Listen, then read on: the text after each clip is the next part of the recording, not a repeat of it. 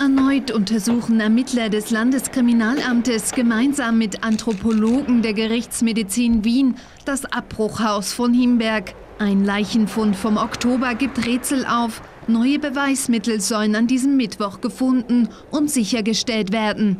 Also die Ermittlungen werden von den äh, Kollegen des Landespolizeidirektion des Landeskriminalamtes Niederösterreich konsequent geführt und sind laufend. Das heißt, es werden, wird hier jedem Ansatz nachgegangen äh, und es werden hier laufend äh, Erhebungen und Ermittlungen durchgeführt. Äh, das bezieht sich nicht auf einen Tag, sondern das wird durchwegs gemacht. Genau hier in diesem heruntergekommenen Gebäude kommt es bereits 2015 zu einem Mord. Eine 46-jährige Frau wird damals von ihrem Lebensgefährten mit einem 20 cm langen Küchenmesser erstochen.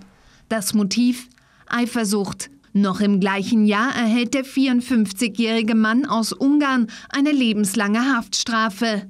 Doch damit nicht genug. Der Ungar hat bereits 1997 seine damalige Freundin auf gleiche Art ermordet. Auch damals saß er dafür ein. Nun gerät der Verurteilte und das Mordhaus in Himberg erneut in das Visier der Ermittler. Die skelettierte Leiche, die nach einem Besitzerwechsel im Oktober im Abbruchhaus unter Mühlbergen entdeckt wird, könnte ein weiteres Opfer des Mannes sein. Die Polizei hält sich dabei aber noch bedeckt. Äh, es ist so wie angeführt, äh, wir müssen das Ergebnis dieser Untersuchung, dieser gerichtsmedizinisches Gutachten äh, abwarten, ob hier ein Fremdverschulden vorliegt oder nicht, ob es ein natürlicher Todesfall ist.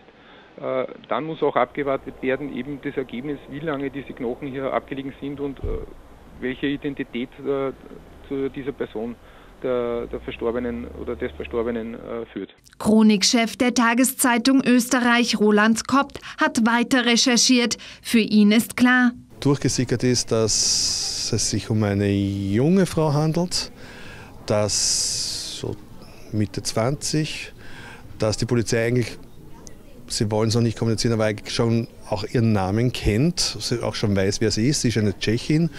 Äh, man kam auf sie durch die Kleidung, die man bei der Leiche, also bei dem Skelett auch gefunden hat, hat dann die Vermisstenkarteien durchgeschaut und hat ein passendes Opfer, also eine Abgängige gefunden äh, und ist sich quasi, sagen wir mal, ziemlich sicher, dass das diese, diese Frau ist.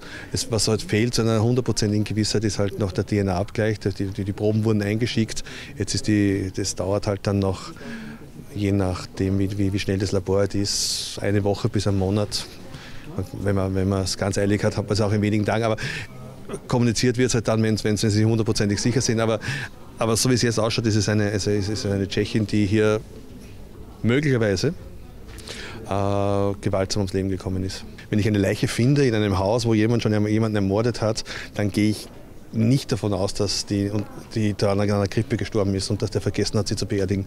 Das, das, das kann ich mir nicht vorstellen. Das, ist ein, ein, ein, das war ein Messi-Haus, da, da, haben die, da hat der Obdachlose gewohnt, hat, hat schon einmal im, im Vollrausch eine, eine, Frau abgestochen, äh, ist schon länger in Österreich ja, und, und, und genau in demselben Haus ist noch ein Skelett und eine Frau, die vor circa fünf Jahren gestorben ist. Also ich gehe davon aus, dass die Frau auch zu seinen Opfern zählt und wenn es drei gibt, könnten es natürlich noch mehr werden. Die Landespolizeidirektion Niederösterreich will noch abwarten. Der Mann befindet sich derzeit in Haft. Ob hier ein Zusammenhang mit diesen Knochenfunden besteht oder nicht, ist Teil der polizeilichen Ermittlungen. Äh, dazu gibt es jetzt keinen konkreten Verdacht.